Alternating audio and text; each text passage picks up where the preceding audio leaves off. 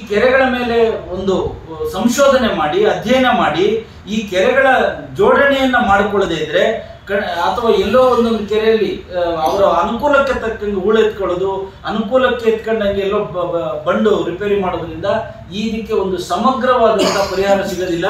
ಈ ಕೆರೆಗಳ ಜೋಡಣೆಯನ್ನ ಮಾಡ್ಕೋಬೇಕು, ಅದನ್ನ ಪೂರ್ವ ಕಾಲದಲ್ಲಿ ಆಗಿತ್ತು ಅದನ್ನು ಅಭಿವೃದ್ಧಿ ಮಾಡಿಕೊಳ್ಬೇಕು ಅನ್ನುವಂಥ ಒಂದು ಸಂಶೋಧನಾ ವರದಿ ಏನಿದೆ, ಅದನ್ನು ತೊಂಬತ್ತೇಳರಿಂದ ಇಲ್ಲಿವರೆಗೆ ನೆನೆಗುದಿಗೆ ಹಾಕಿ ಕೇವಲ ರಾಜಕಾರಣಿಗಳು ಅಥವಾ ಗುತ್ತಿಗೆದಾರರು ಈ ಒಂದು ಜಲಾನಯನ ಅಭಿವೃದ್ಧಿ ಕಾರ್ಯಕ್ರಮಗಳು, ನದಿ ಪುನಶ್ಚೇತನ ಕಾರ್ಯಕ್ರಮಗಳು, ಕೆರೆಗಳ ಅಭಿವೃದ್ಧಿ ಕಾರ್ಯಕ್ರಮಗಳನ್ನು ಅವರ ಅನುಕೂಲಕ್ಕೆ ತಕ್ಕಂಗೆ ಮತ್ತು ಅವರ ಅದರಲ್ಲಿ ಸಿಗುವಂತ ಅನೇಕ ಭ್ರಷ್ಟಾಚಾರಕ್ಕೆ ಒಳಪಟ್ಟಂಗೆ ಮಾಡ್ಕೊಂಡು ಹೋಗ್ತಾ ಇರೋದ್ರಿಂದ ಇವತ್ತು ನಮಗೆ ಇಂಥ ಭಾವನೆ ಬಂದಿದೆ.